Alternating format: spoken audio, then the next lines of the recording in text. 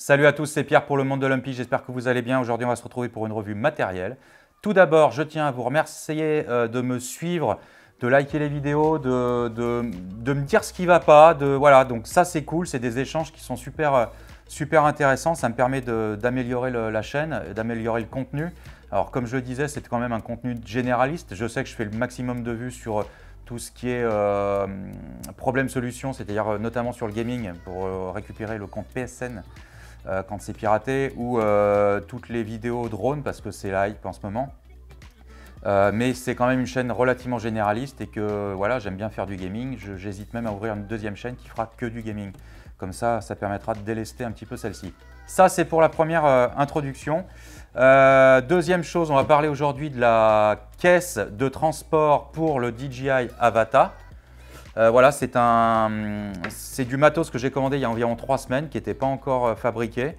Euh, et puis je, me suis dit qu'il était bon de faire une revue là-dessus parce que tout le monde galère un petit peu à trouver, à trouver des choses idéales pour transporter l'Avata. Donc on va voir ça tout de suite. Donc sur le dessus, vous avez un petit autocollant qui rappelle le design de l'Avata. Hop là. Sur le dessous, on va être pareil mais un starter C rouge, bon, c'est dessous, donc on s'en fout un petit peu. Euh, c'est une caisse relativement solide. Euh, vous allez l'ouvrir comme ceci. Voilà, logiquement, je suis centré par rapport à la GoPro. Euh, toutes les mousses ont été enlevées préalablement avant la vidéo, voilà, toutes ces mousses-là. Donc c'est très très bien découpé, c'est propre. Je vais vous montrer comment, euh, déjà comment on équipe la mallette. Alors la mallette, elle a une sangle, comme ceci là. Elle a une sangle, il y a un sens. Et la sangle, la sangle vient se bloquer, elle vient se bloquer comme ceci. Il faut passer ça sur le côté. On écarte un petit poil, et hop, ça c'est bloqué. On fait pareil de l'autre côté. C'est un petit peu récalcitrant parce que c'est tout neuf. Et la sangle est en place. Ça, c'est fait. Bonne chose de faite. On passe à la suite. Vous allez voir que l'avatar rentre parfaitement. Je tiens à dire qu'au niveau des emplacements et des mousses, euh, les emplacements sont parfaitement découpés et les mousses, il y a bien 2 cm de mousse, donc ça permet un petit peu, si vous voulez mettre des trucs, de tasser un, poil. Quoi. Euh, on va ranger les goggles. Alors, l'avantage des goggles, c'est que vous avez aussi un deuxième mousse que vous pouvez enlever pour mettre les masques qui sont un petit peu plus gros. Euh, donc ça, c'était prévu pour, c'est fait pour. Donc je mets mon masque ici. Voilà. Rien à signaler, tout passe, nickel. Voilà, je range un petit peu la mousse proprement. On va pouvoir ranger les batteries. Alors on a 4, euh, slots batteries euh, qui pour moi ne sont pas utiles parce que j'ai que 3 batteries. Donc je vais utiliser le dernier slot à ce niveau-là pour ranger le petit câble. Voilà, le câble du masque. Voilà, ça permet d'optimiser un petit peu. Euh, ceci, je pense que c'est pour les rangements de cartes SD. Ça, c'est pour les rangements de cartes SD. Euh, c'est une mallette qui est prévue pour le motion controller. Donc le motion controller se range dans cet emplacement. On va se retrouver avec la batterie du masque ici. Elle se range ici. Vous avez la prise de charge, euh, le chargeur pour les batteries. Vous allez pouvoir le mettre ici. Donc moi, je ne l'ai pas, sous la main, mais voilà, vous voyez que ça, ça, se, ça se positionne à ce niveau-là. Vous allez pouvoir rentrer un chargeur ici, à ce niveau. Euh, j'ai récupéré récemment des filtres ND, je vais vous faire une revue là-dessus, c'est que j'ai un temps ultra pourri en ce moment, c'est un truc de dingue. Donc euh, les filtres ND, on va pouvoir euh, aussi les rentrer dans la mallette.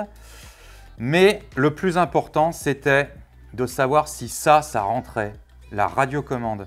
Alors j'utilise peu parce que j'ai beaucoup de feeling avec le, motion controller, mais euh, je voulais vous montrer que avec un petit peu d'acharnement sans forcer. Je pose, voilà, on a de la marge. Je pose, ça abîme pas le drone, ça abîme pas la radio. Hop, je la pose comme ça. Les filtres ND, je vais pouvoir les mettre à ce niveau-là et à ce niveau-là. Tac, voilà. Et vous allez voir qu'on peut fermer la chose. Voilà. Et la mallette est fermée. Tout est OK. Pour finir cette vidéo, je vais vous expliquer pourquoi j'ai choisi cette, euh, mallette. Je trouve que les mallettes protègent beaucoup mieux le matériel. Ça déjà, c'est indéniable. Euh, j'ai une boîte de prod où j'ai beaucoup de mallettes euh, pour le matériel, pour les GoPro, pour le GH5S quand, il n'est pas monté, parce que des fois je calibre le Ronin avant et j'emmène comme ça. Mais quand c'est pas monté, j'emmène tout dans des, mallettes, dans des trucs super fermés, comme ça c'est tout protégé. Donc voilà, je suis un aficionado des, mallettes de protection de ce type-là. Euh, deuxième chose, euh, ça a son avantage, c'est quand on arrive sur un, setup professionnel, tu arrives, tu poses tes mallettes, on se dit le mec il est, c'est carré, c'est tout rangé nickel. Voilà, ça fait pas sac à dos.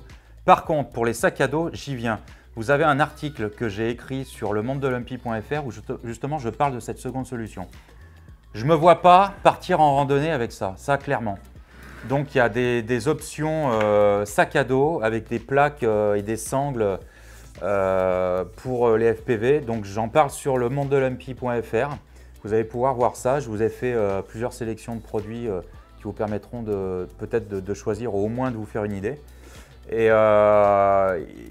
cette caisse, c'est bien parce que vous voyez que la radiocommande passe quand même, en plus du motion controller et que même si j'ai une quatrième batterie qui vient se mettre dans le slot batterie, c'est pas un, câble grand comme ça qui va m'embêter quoi. Je vais pouvoir le mettre à côté. Euh, voilà, l'avantage qu'il y a, c'est l'épaisseur de la mousse. On peut, on peut pousser un petit peu. Euh, voilà, j'ai rien à dire sur ce matos. Bon matériel. Je vous mets le lien du produit en description. Euh, vous me direz ce que vous pensez de cette vidéo. J'attends vos commentaires. Si vous avez des questions, vous pouvez y aller. feu, feu à volonté. Voilà, je vous retrouve bientôt pour une nouvelle vidéo sur les filtres ND pour le DJI Avata. Euh, pour le moment, j'ai un temps qui est pourri, donc les filtres ND, ça va attendre. Et entre-temps, je vais faire une autre vidéo, une petite bricole. Voilà, merci de m'avoir suivi, merci de liker de commenter, c'est super cool. Euh, j'ai de bons échanges dans la communauté. Et on se dit à très vite pour la prochaine vidéo. Tchuss